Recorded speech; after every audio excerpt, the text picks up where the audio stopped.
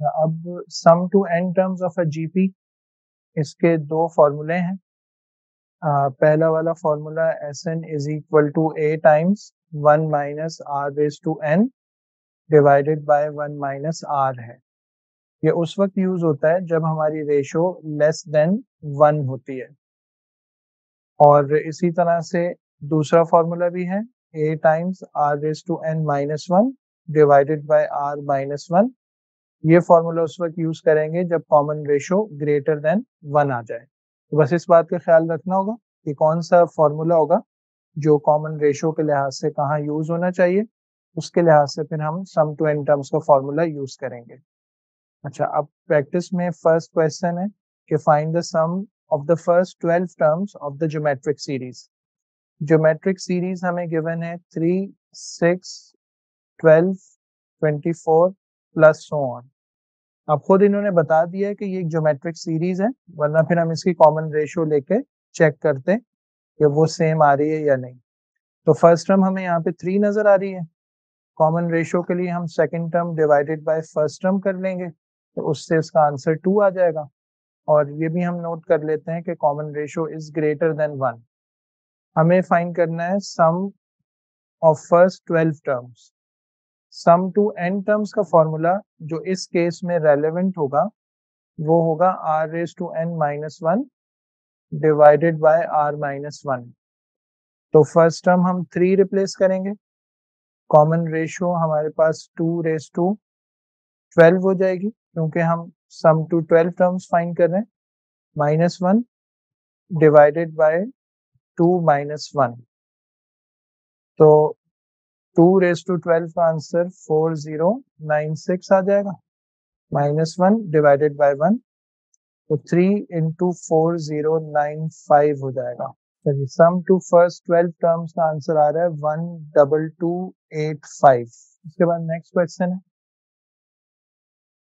इसमें गिवन है the third term of a geometric progression is nine times the first term तो इसका मतलब है कि T three equal to nine times T one the sum of the first six terms is k times the sum of the first two terms.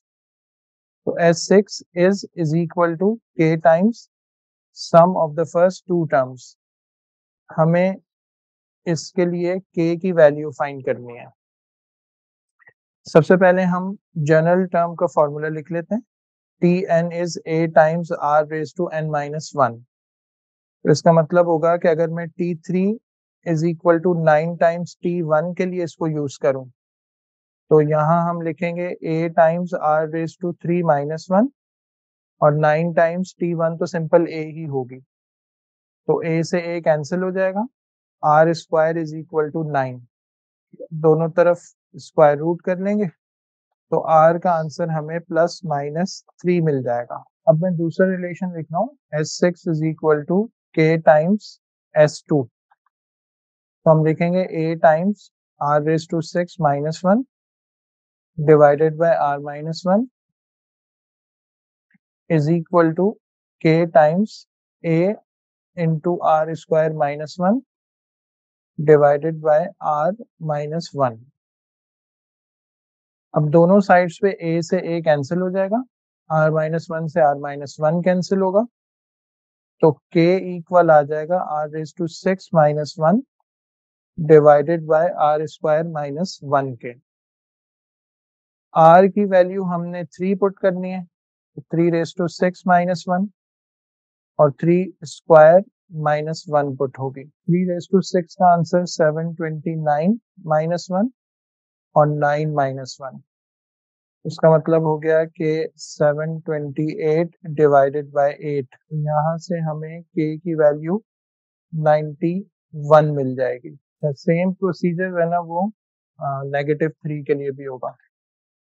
तो eight r is equal to minus three अब की दफ़ा जो फॉर्मूले की form होगी वो बस इस तरह चेंज होगी कि one minus R is to six one minus R is equal to K times A one minus R square upon one minus R तो डिनोमिनेटर्स कैंसिल होंगे ए उसी तरह कैंसिल होगा। K की वैल्यू अब की दफ़ा one minus r raise to six upon one minus r square आ जाएगी। आर की वैल्यू पुट करेंगे minus three raise to six और माइनस थ्री पर स्क्वायर तो न्यूमरेटर में one minus seven twenty nine Divided by one minus nine तो minus seven twenty eight divided by minus eight answer अभी भी हमें पॉजिटिव 91 ही मिलेगा तो k की वैल्यू दोनों केसेस में 91 आ रही है We try to explain complex concepts in simple language and with effective examples. If you like the video and the way we explain the subject, consider liking this tutorial, commenting on it and subscribing to our channel and press the bell icon, so that you stay updated and get notified when we upload more videos. Thanks for watching.